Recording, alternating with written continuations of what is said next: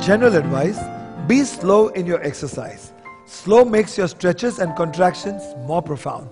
Longer the range of motion, deeper the impact, better the foundation of the new body. Remember, slow and steady wins the race. It's true here as well. Grow tall. Tadasan walk. Stand comfortably. Now stand on your toes simultaneously.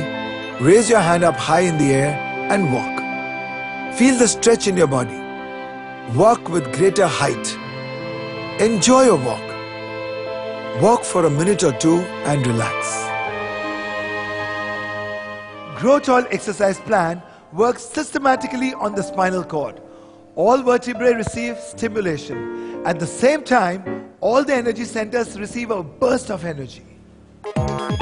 Touch toes.